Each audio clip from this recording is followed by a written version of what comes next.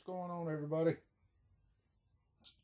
Just a quick little bench, shopped up, shop, bench update, whatever you want to call it. The, um, the Edsel is in the process of being reworked. Um, I'm addressing some issues with the dash and addressed an issue with the spindles. Chris, uh, Mr. Chris Cortell, you were absolutely correct, correct, sir. I had the spindles in upside down. That's what I get for not paying attention.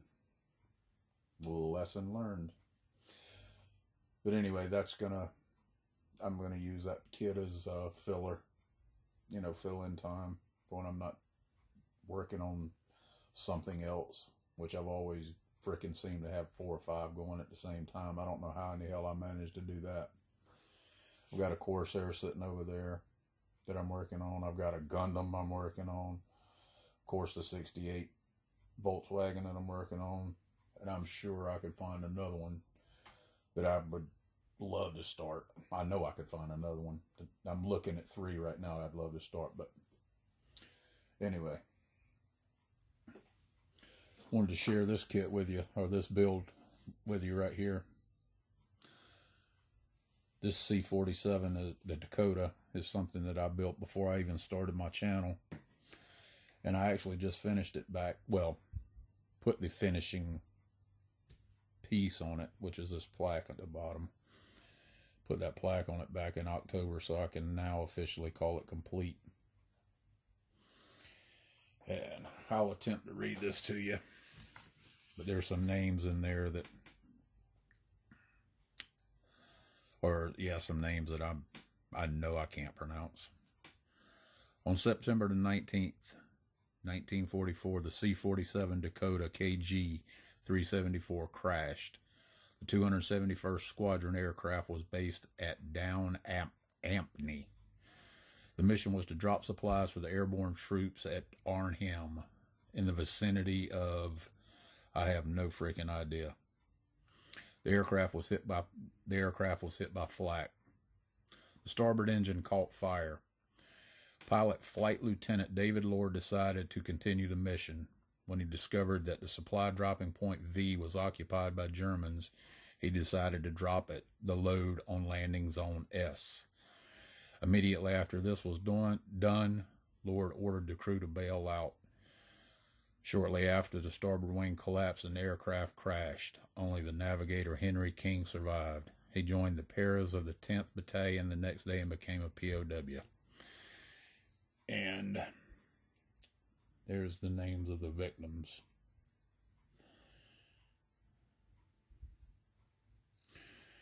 But that's a Dakota that I done some time back.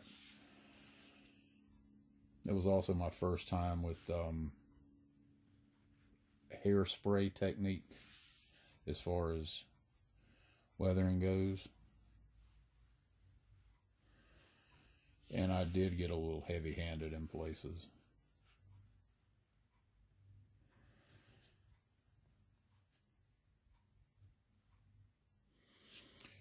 I especially got heavy handed over here around that cargo door. I, yeah. This kit was a 70. I think the directions had a date on them of 71, if I remember right. Like I said, it's been several years since I built this. Four or five years probably since I built that. With the help of a buddy from England. The, uh, like I said, the directions had a date on them for 71, 72, somewhere along in there. And the decals in there were just absolutely destroyed. so my buddy from England sent me over some decals, and it just so happened that they were for KG 374, and I researched the plane, and that what I read you is the information, all the information I could find on the on this plane.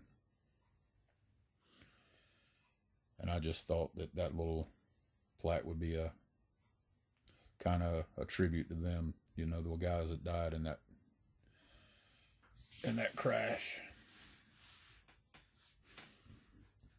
Supplying or dropping supplies.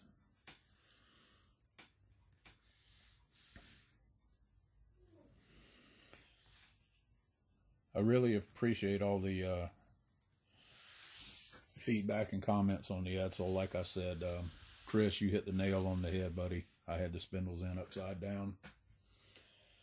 But, uh, you know, that now it's really not high on my list of priorities as far as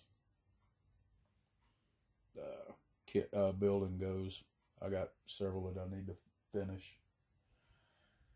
My wife threatened me. She said, "You, I'm going to take and hide all your kits, and except for the ones that you started, so I can't start anymore." Well, I didn't. I don't think she realized how many I had because she uh she got off that bandwagon real quick. But anyway, just a quick update, guys. Hope everybody's doing well. And until the next update, I don't know what it'll be on, what it'll be of. Only time will tell. But until the next time, everybody take care and have a great week.